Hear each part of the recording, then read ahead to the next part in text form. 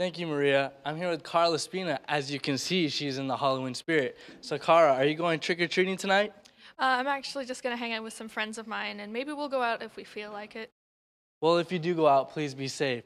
So, last show, we saw the judges were very impressed with your high octave. So, should we be prepared for a low octave this week or even a higher octave this week?